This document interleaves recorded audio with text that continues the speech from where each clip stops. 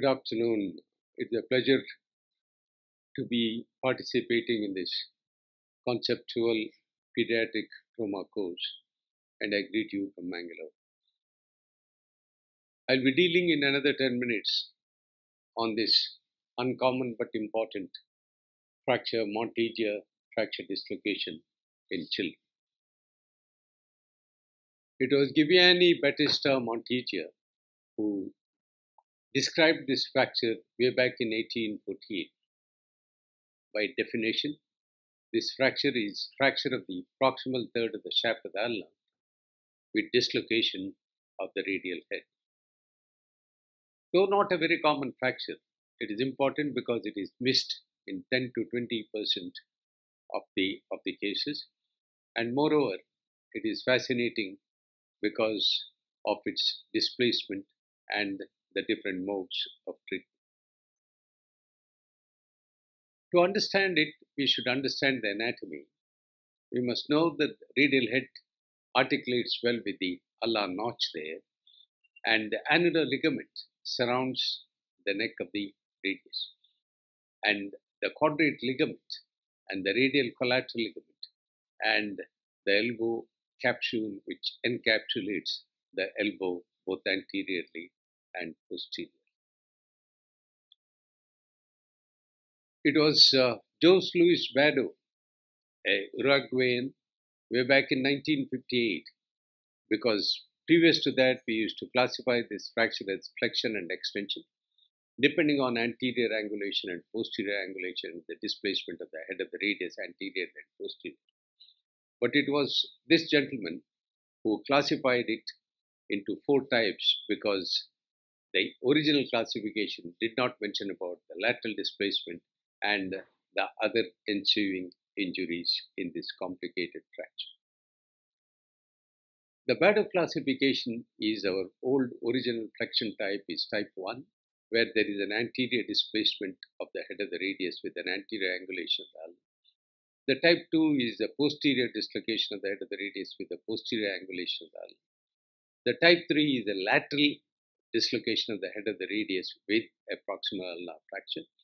And type 4 is where the head of the radius is dislocated anteriorly or posteriorly with fracture of the both bones of the forearm.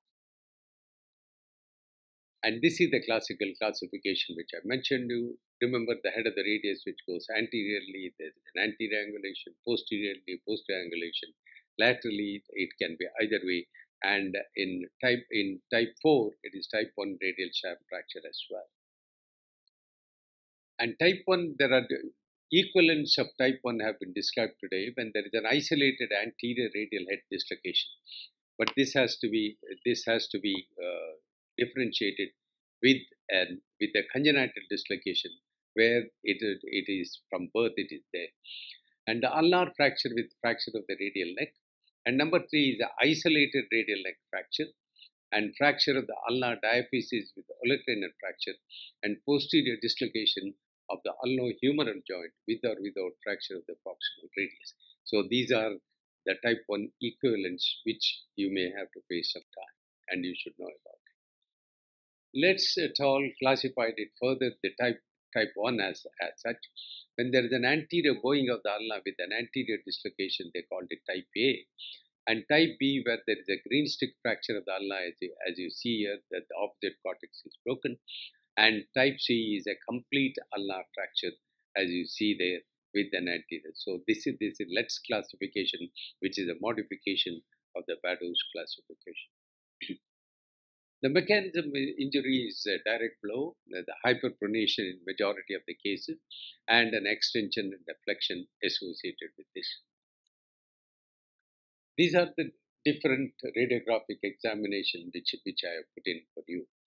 When you draw the important line which you which you draw is when you draw a line along along the shaft of the radius, it has to pass through the center of the capital as you see in that middle picture where it is just below the type 2.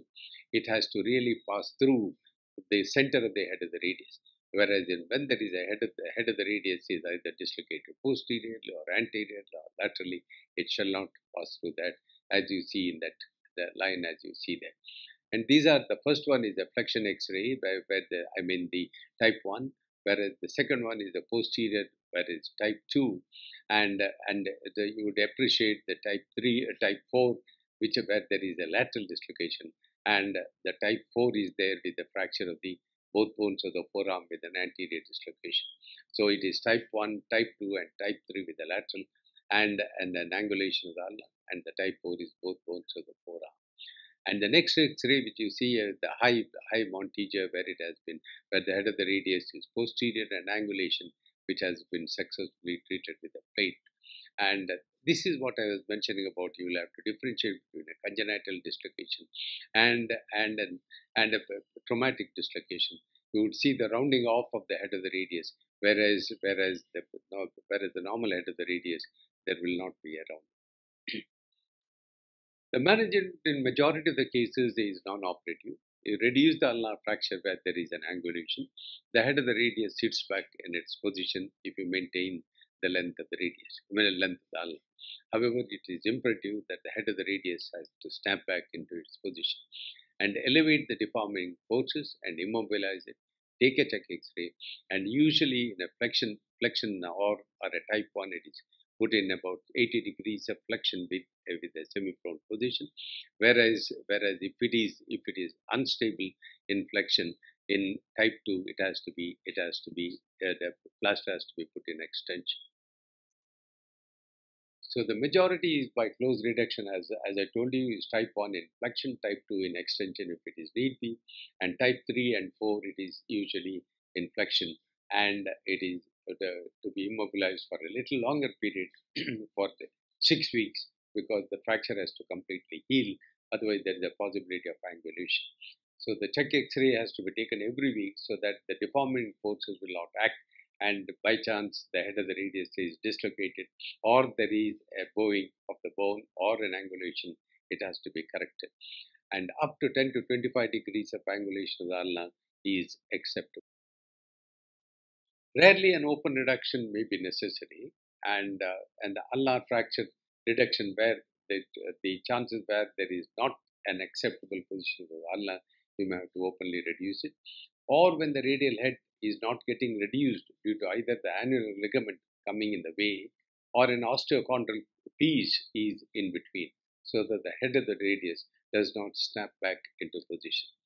And in such cases, as you see in this picture, as you would appreciate, that is the annular ligament which is impinging in between the ulnar notch and the head of the radius. And you may have to elevate it and see that it is cut and, and reduced back into position and suture or in sometimes uh, sometimes if it is very badly denuded then you may have to uh, excise it and repair repair the annular ligament and coming to the fixation the different modalities have come into being either either Rush nail or or or or a malleable nail or or uh, the different types of internal fixation with the plate but with a very rigid plate like that, whether there can be a chances of deformity ensuing. But it is always it is it is better to fix it with intermedullary devi- device as you see seen there, and it is removed early. Whereas in if the child is above about 10 years of age, it is always and the higher the fracture, is always better to fix it with a plate as you see in that particular picture and you must be very, very definitive that the head of the radius has come back into position because that deforming force of the head of the radius can result in an angulation and, and even break the bone or bend the bone and the fracture. May not. Always a question is asked whether, whether a transcapitular pin can be used if the head of the radius does not come back into position. My answer is no because various papers, publications have come into vogue where where the articular cartilage damage has occurred because of this pinch. Usually, it is better to see that whatever is causing the head of the radius not to be reduced back into position is is uh, is treated properly, so that the head of the radius comes back into position. That is the last salvaging procedure which can be done at transcapital. the complications of this uh, fractures are many. Number one is, as I told you, 10 to 15 percent it is failure to diagnose the case. And number two is improper reduction where you have failed to reduce the fracture. Number three is malunion of, of the ulna with a bowing many a times or an angulation, and persistent dislocation of the head of the radius, which has been missed. And number two, because it is an interarticular fracture, naturally there can be stiffness and a proper physiotherapy has to be given. And rarely an ulnar nerve or a median nerve, and more commonly a posterior interosseous nerve injury can happen, which has to be looked into. And also a Volkmann's contracture has to be prevented by early diagnosis. Well, uh, here are two cases, uh, as you as you appreciate, uh, that the head of the radius has popped in, but the is fractured, ulna is united well, and that was obviously missed because the length of the ulna hasn't been maintained. The head of the radius is persistently out. And, uh, and the other case which you see is that the complete bowing of the ulna has occurred, and and it has and number three is there is a delayed union. The head of the head of the radius is popped out again and you would appreciate in that child the gross deformity which has to be corrected. The length of the ulna has to be maintained with an internal fixation, preferably with a plate, so that the, and the head of the radius has to be reduced back into position as early as possible. The hmm. complications, as I told you, posterior interosseous nerve, the neglected fractures. In neglected fractures, as you as you as you as you have seen as you have seen in the pre- previous case, that uh, you'll have to do an ulnar osteotomy and a lengthening as to and the annular ligament reconstruction with Bell Tawse procedure, where you take the triceps strip and see that the the annular ligament is repaired. And periarticular ossification has, has to be treated symptomatically unless it is very, very big. Uh, after the complete growth, it is excised. And compartment syndrome is to be treated as early as possible and prevention is the best cure for it. But to conclude, proper radiological diagnosis is a must in Monteggia fracture dislocation. And a LAP and a lateral oblique view is, is taken and classified according to Bado's accordingly. And anatomical reduction of the head of the radius is a must. And length of the ulna is to be maintained at all costs. And a POP cost up to six weeks and look for nerve and vascular injuries. Thank you.